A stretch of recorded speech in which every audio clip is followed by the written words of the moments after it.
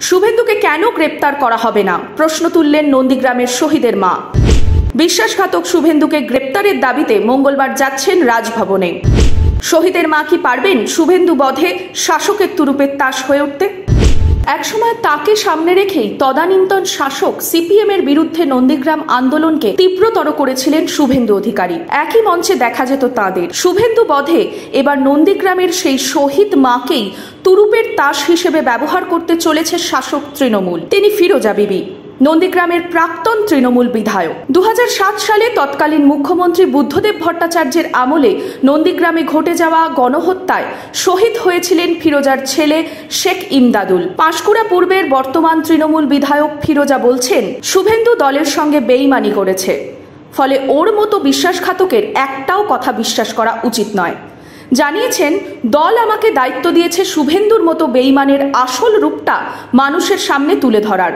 আমি সেটাই তুলে ধরব। দলীয় সূত্রের খবর, বিভিন্ন দুর্নীতিতে নাম জড়ানো শুভেন্দু অধিকারীকে অবিলম্বে গ্রেপ্তারের দাবিতে আগামীকাল মঙ্গলবার রাজভবনে রাজ্যপালের সঙ্গে দেখা করবেন তৃণমূলের প্রতিনিধি দল। ওই দলে থাকবেন নন্দীগ্রামের শহীদের মাও। বস্তুত সারদা নারদা কাণ্ডে কাগজে মুড়ে টাকা নিতে দেখা যাওয়া বিরোধী দলনেতা শুভেন্দু অধিকারীকে কেন গ্রেপ্তার করা হবে না?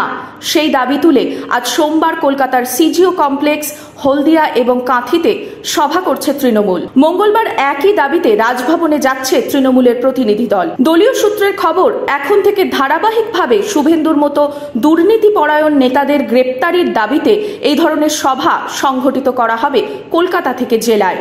বিশেষত শুভেন্দু ইস্যুতে হওয়া সভাগুলির প্রধান মুখ থাকবেন এই ফিরোজা বিবি। যা দেখে রাজনৈতিক মহলের অভিমত, বিভিন্ন ইস্যুতে কেন্দ্রীয় এজেন্সিগুলি সক্রিয়তা রুখতেই পাল্টা চাপে ফেলার কৌশল নিয়েছে শাসক তৃণমূল। তবে শুধুমাত্র শুভেন্দুকে বিড়ম্বনায় ফেলতে তৃণমূল যেভাবে নন্দীগ্রামের শহীদের মা ফিরোজা বিবিকে ফের সামনের সারিতে নিয়ে আসছে, তাতে বিশেষ তাৎপর্য দেখছে ওই মহল। যদিও এই বিষয়ে শুভেন্দু বা বিজেপি এ রাজ্যের কোনো শীর্ষ নেতার প্রতিক্রিয়া এখনও মেলেনি।